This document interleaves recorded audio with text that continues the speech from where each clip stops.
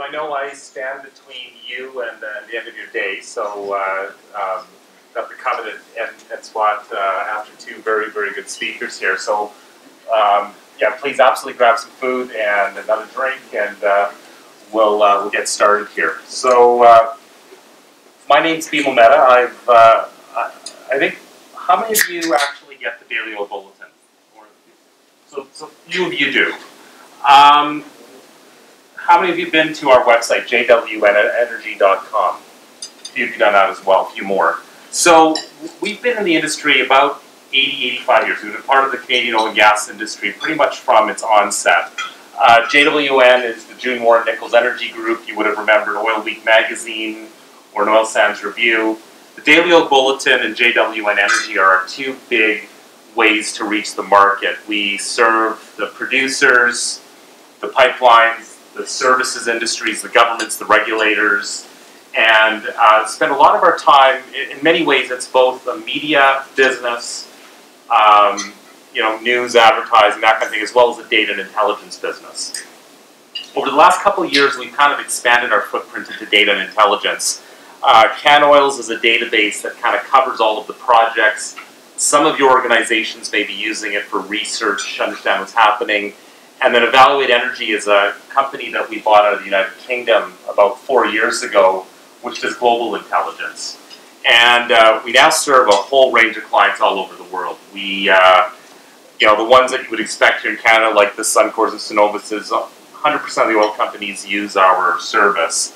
But we now kind of are serving a whole range of people with data, like the U.S. government and OPEC. And you know, we, we did a study for OPEC a few years ago when they wanted to know whether the U.S. shale phenomenon was real, and the answer was yes. And uh, and you know, and we kind of helped them with understanding the costs and what's happening with deals and mergers and acquisition activity globally.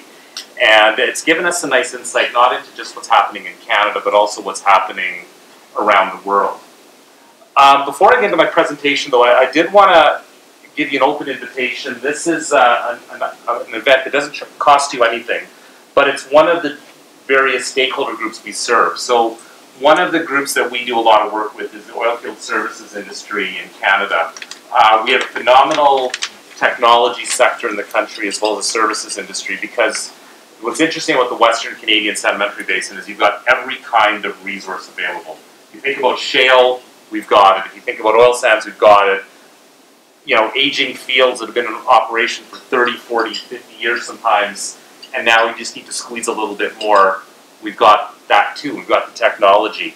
So what we did through this recession is we actually partnered with the Petroleum Services Association of Canada, Export Development Canada, Government of Alberta, and the Canadian Global Exploration Forum, which is companies in Canada whose head office in Canada, but they're drilling for oil somewhere else in the world. And we're doing a series of workshops and reports to help the oilfield services industry in Canada find new markets, new places to do business. Uh, we're great in our own market, but we're a little less great at getting outside. And so, as a part of this group, there are you know lawyers that are focused on global markets. This may be a great place to meet people, potentially meet clients, and um, a good way to engage with, with your market. So uh, again, open invitation, come join us. That's the launch event, and then there'll be a whole range of resources online as we try to help our you know Canadian companies look at global markets. So, and if you just go to our website down here, you'll be able to find the link and then register yourself for the event. So let me get into my presentation. So Racine kind of did a great job of opening this up and talking about moving to 8 billion people and resources. And there's no question that we are going to be seeing an increasing demand for energy. If you look at the world of, you know, who uses energy like us, you're talking about a million, a billion and a half people. Canadians, Americans, Europeans, generally the OECD countries.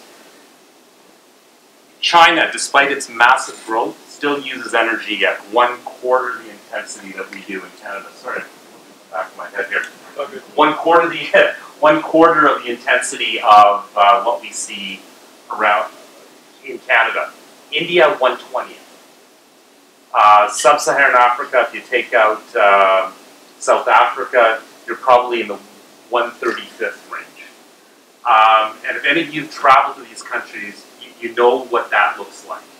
Um, as people, and, and you also got to realize that as people get richer, they start to expect things, they expect to have a better life. Um, and better life often means things that we take for granted. You know, we have heat. People in many of these countries need air conditioning, or owning their first car, or travel.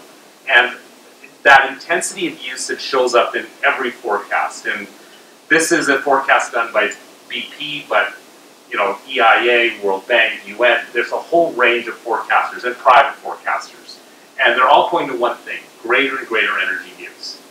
Uh, for your buildings, which are heat and light, for non-combustion, which is plastics, industry, transportation, and across the board. You can see in the graph there, the green line is usage in countries like ours, and you can see all of the forecast growth in energy is coming from China, India, other Asian countries, Africa, and then other countries in general. So, well, one thing that we know for certain, as the world gets richer, they're going to want to use more energy. That's all we know.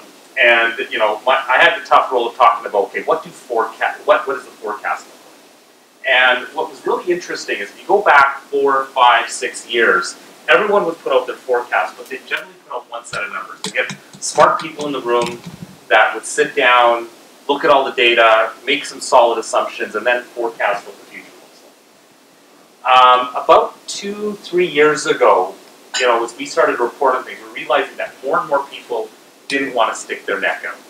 And you saw more and more people laying out what you would call scenario analysis. So BP, for the first time ever, when it was doing its annual study, decided we're just going to show a bunch of people a whole bunch of scenarios. And I'm going to come over here and show you what these scenarios look like. They built a whole series of views of the world. This is what the world looked like in 2016. Oil, gas, coal, nuclear, hydro, renewables. What does it look if we're just transitioning? What does it look like if we're going to ban the internal combustion engine? What does it look like if we do a little bit less gas switching? What do we do if we push renewables faster?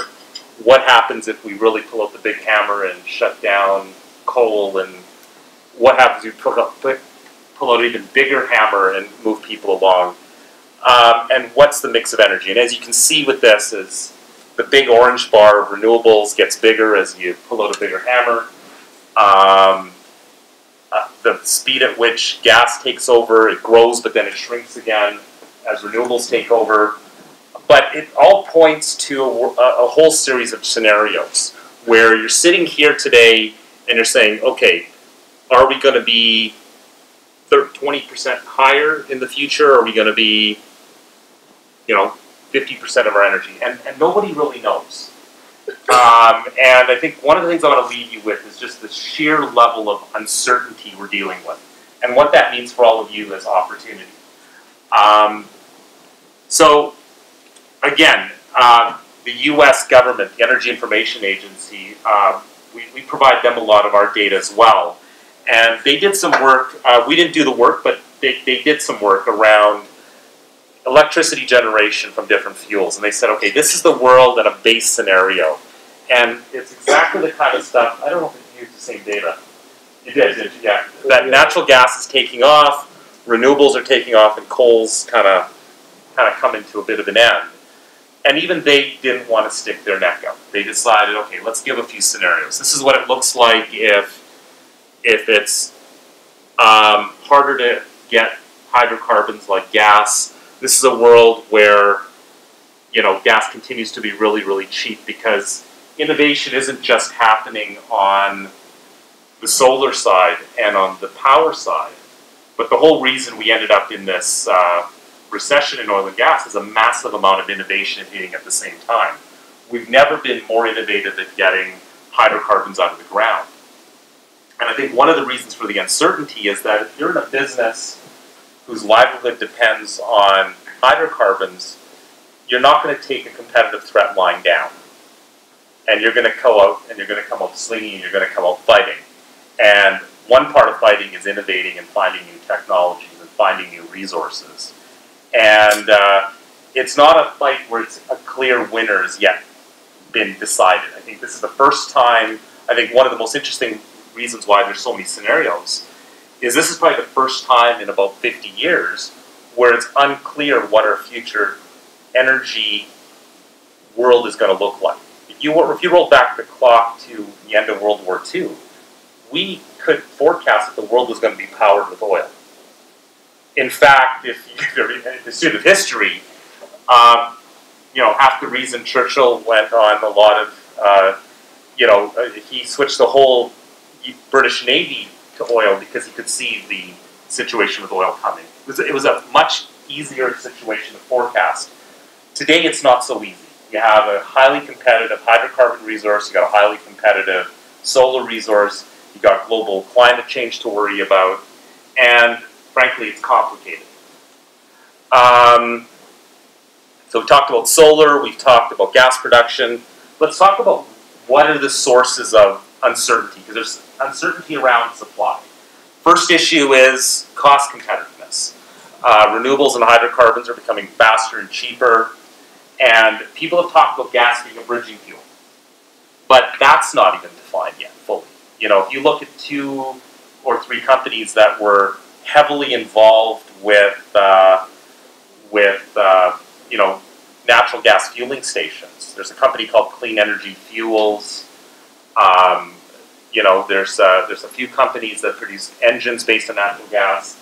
They've had horrible trajectories of their share prices, and a lot of the reason for that is their skepticism. They're wondering about, well, when you just jump over electricity, what happened? But yet the question is there. Um, engineering challenges around storage. Uh, there are, you know, we're moving to a world of batteries, storage has yet to be figured out. The, the, un, the secret about storage is you lose you lose energy every time you change it into something else. And it's an energy challenge you just can't deal with. So if you produce one unit of energy and you decide to put it in a battery, and then you decide to consume that amount of energy, you've lost today roughly 40% of the energy. Just in the process of putting it into a battery and taking it out. And, um, you know, and that's one of the challenges, is that if you decided to switch everyone over to batteries, you wouldn't need as much power as used today. You'd actually need to have double the amount of power generated because you have to store it, you're going to lose it. And where is that lost energy going to go? Um, Electricity is a geographically local product, whereas hydrocarbons travel on the world. So what do you mean by local? Is that the way electricity travels and how it loses efficiency as you travel along large power lines is that you'd never be in a situation where a big nuclear plant in Ontario could set lines right across the whole country and feed power to Alberta. It's too far, it's too expensive. Um, in fact, how many of you have been to Ontario and seen those massive, giant power lines all over the place? You, you're nodding your heads. The whole reason those lines exist is because they have a handful of small solar plants, sorry, small nuclear plants, and in small geographic footprints, but they serve the whole province. And that electricity has to make it all the way around the province, and it's expensive, and there's lots of losses. In a place like Alberta, because our power distribution is so much more spread out. We don't have those same kinds of lines. There's a few corridors like that, but we don't have anything near that because our power is actually spread out across the province closer to the sources of demand. And the problem that Racine talked about about this transportation cost, it's beautiful. It's beautiful when you have a solar panel on your roof, but um, if you wanted to supply a whole city, solar, wind, power generation works really well. But that plant in Morocco he showed could never export their excess power to France because it's just far too expensive. But uh, you know, you sail an oil tanker into Morocco, fill it up with oil, and get it to France. And that inherent localness is one of the technical challenges that might in fact be insurmountable, just the nature of what power is like. The, the other area is regulatory complexity. Um, as much as we want to change, um, we've just seen with Kinder Morgan, Energy East, um, but we're also seeing it with the Site C Dam. That's about as green as you get, and yet environmentalists still don't like that. Um, as you start thinking about things like large infrastructure of any kind, you start moving down the path of NIMBYism, regulatory uncertainty, First Nations rights, and it opens up a tremendous amount of complexity that shouldn't be underestimated. Adding new supply, shifting supply, changing supply is, is going to be as complicated for a new solar plant as it is for wind. And we saw this actually in Ontario as they were trying to put solar, sorry, they were trying to put wind power on Lake Ontario. And uh, there was massive amounts of pushback. The other area of uncertainty is carbon pricing. And uh, what exactly happens? The higher the carbon price, the faster the transition to other forms of energy. But it's not clear. You have an election going on in Ontario right now, and on Thursday you could have a government in power that wants nothing to do with the carbon tax. We have an election a month. We have an election about a year and a half from now, roughly, in Alberta, where the most likely winner wants nothing to do with the carbon tax. Uh, there's our single largest trading partner that's eating our lunch in a whole series of economic ways wants nothing to do with the carbon tax. And it's not clear whether that going to change anytime soon. And so, but that, that will impact the trajectory upon which the supply changes and how the world changes. Um, and the last one I want to flag, which is uncertainty, is the whole area of geopolitics. And I could have used both politics and geopolitics here, just because um, boy, there's a lot going on. Uh, let's talk about geopolitics. So you have an Iranian, uh, you have the U.S. and Iran getting a, a bit of a fight. But it's very clear that India and China want nothing to do with this particular fight because they rely heavily on Iranian oil. And India's prime minister's already stated that it's a national security interest for him to ensure cheap and low-cost supplies of hydrocarbons. In fact, he's been on record to say India needs all types of energy. With 120th the consumption level of the Western world, they view any sort of view to restrict their use of hydrocarbons as akin to things like the salt tax from British India from about you know 80 years ago. They view it as neo-imperialism and they write about it every day if you open up an Indian newspaper. And, uh, you know, they, they view it as, well, you're rich, you're comfortable, and now you're holding me back from a better life. So it's not clear that everyone's aligned on objectives. Right now, both China and India's commitments on carbon is, we'll discuss reducing when we are as rich as you. And that part is often not discussed because they've made a commitment and the commitment is we'll, we'll step up once we're as rich as you. And oh, by the way, we're building these massive solar farms. Where's yours? And they would eat, they would very much look at Canadians and through that light of, you know, I wouldn't necessarily want to preach because um, they're at least building those solar plants to meet their energy needs. And so it is quite complicated how that's going to all play out. Um, the other reason, I, I should have said both politics and geopolitics on supply is that um, there are jobs and people attached to these, these things. And as you shift people from certain kinds of jobs to others, you know, just take a look at truck drivers. Um, and that's more on my next slide, but I'll, I'll use this example here. What are you going to do when a million truck drivers look at, at unemployment? Are they going to take it lying down and just go to the unemployment line, or are they going to put up barriers? And a good example of a barrier is we have Uber here in Calgary, we have Uber in New York, you still can't get Uber in Vancouver. Why? Because the taxi drivers saw what was coming and they built barriers to prevent the adoption of Uber in those markets. And uh, we were very slow to get Uber because those same forces took hold within a Calgary that simply were not prepared in places like New York or London. And so, you know, I think the political dimensions will have a tremendous amount of impact on where we go and how quickly things move. So let's talk about sources of demand uncertainty. So we have an electric vehicle boom. Everyone loves Tesla. Uh, Tesla sold about 67,000 cars last year. That's three weeks of production of the F-150. and uh, not to mention all the other vehicles, but that's the number one vehicle. And, you know, I think Racine made a fantastic point, which is people would have said the same thing about the cell phone, and they did.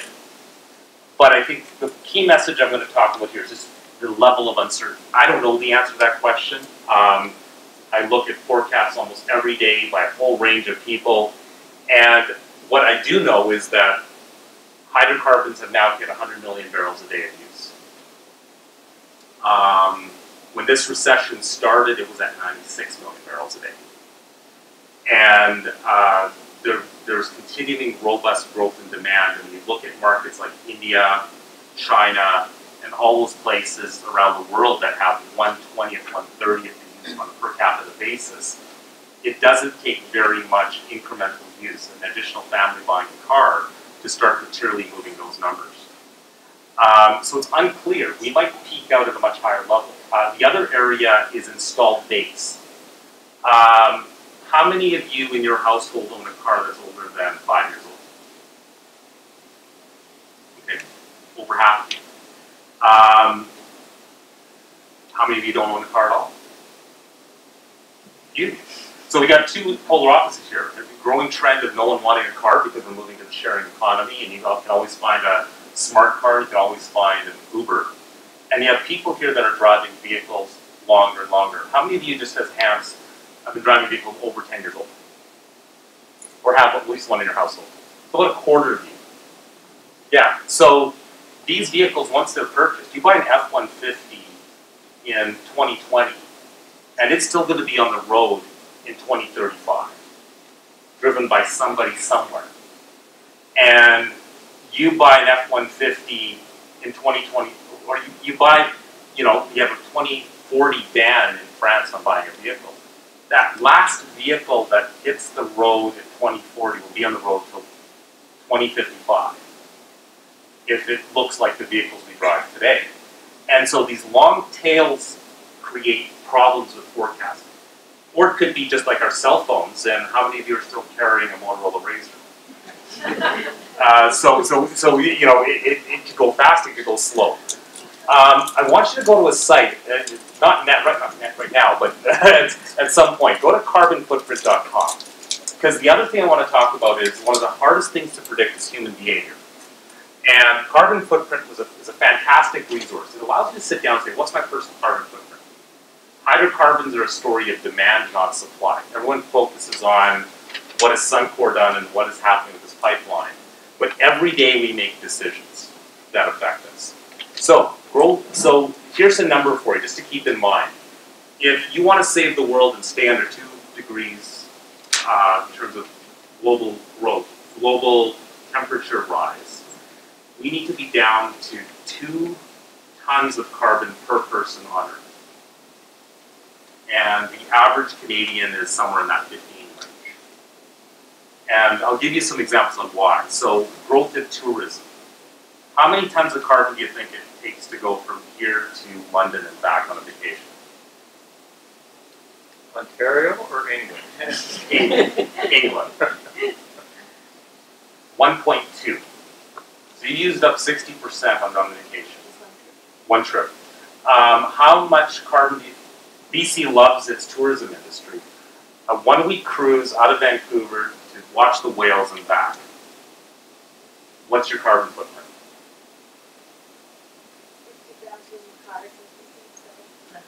Yeah, about that. So it's about uh, it's about six tons. Six tons of carbon for all those great ships that Horgan wants running and coming into uh, the port of Vancouver per person. So if you're on the Oasis of the Seas, that's the biggest boat in the world, has that 4,000 passengers. One week cruise, that's, that's a heck of a lot of carbon. And we love our tourism, and tourism is growing at a rapid pace. If you go to any developing country in the world right now, China or India, what, the one thing you'll notice very different is you're now, for the first time, heavily outnumbered by local tourists. You went to these countries 10, 15 years ago, they'd see a lot of us, and not a lot of, of the locals touring. And today, locals want to see their own countries, they want to see other countries, and tourism's taking off. And there is no credible alternative for hydrocarbons in airplanes. There's electricity, but airplanes are huge. Transformation in transportation. So we talked about self-driving cars and Uber. So today, if you want to go and work in the oil sands, and you have a job in the plant at Suncor, on on Sunday night you can kiss your family goodbye, get on the Red Arrow, and you'll arrive in Fort McMurray with hundred of your best friends in that in that in that bus the next morning ready for work. Or you can hop on a plane with about 150 of your best friends and get on a plane. What happens when you have your own self-driving car, you can lie down and wake up in the morning in a new city. And you could live here and not have to be in the bus and share it or be on a plane. And it, you could actually see a tremendous increase in CO2 emissions by simply allowing people to being on their own vehicle. Um, how many people have stopped doing buses because they now have an Uber Calgary? Put up your hands if you can. You have a decision. Should I take public transport or should I just hop in an Uber? How many of you have done that? I know I have. Um, e-commerce. The most efficient way to get package to your home is to drive to Costco, fill it up with 250 bucks in your trunk, and bring it home. And I can't go to Costco without two, two minutes. Okay, I'm almost done. Be subtle, but. Uh, today, we'll hop on Amazon and you'll get a truck and get one shirt. And it's Amazon is the only retailer in North America that does report on its carbon footprint activities. So these things all have tremendous impact. We don't know which way it's going to go. It could be every one of these vehicles is electric, and it may not be a problem at all, or it could be a really bad scenario. Um, last slide, and then I think I'm done here. So, what I wanted to state here is that where's the opportunity? The purpose of coming was really for me to say, what's the uncertain world look like? And I think where the opportunity lies for all of you is that we're in a dynamic and uncertain world. Um, our company tracks global mergers and acquisitions activity. The bar of upstream oil and gas is every global exploration production deal that happened last year, about 150 billion dollars. Global power deals, about 70 billion. Lots of geography in terms of where it happened. Way more pow- power deals and green power deals in Europe. Way more oil and gas deals here in North America. Um, I, we believe that there's opportunity in all types of energy. I think that for you, you know, one of the things I have a great deal of respect for the legal profession is you're helping your clients through a tremendous amount of uncertainty and helping them manage risk. What we're seeing is international scope. Energy is a global business. There's growing deal activity, green energy deals, and uh, U.S. shale deals are the biggest parts of the pie here. Technology is offering new opportunities. Um, navigation of the social license to operate, the new regulations, things like the Alberta Climate Change Plan, opens up a whole range of opportunities. And what that means for you is the world is moving into a much more uncertain place. The world is getting much more complicated, and they need professionals to help them navigate that complexity. It's a wonderful time to be in the energy business if you're doing what you do today. So with that, I'm going to wrap it up.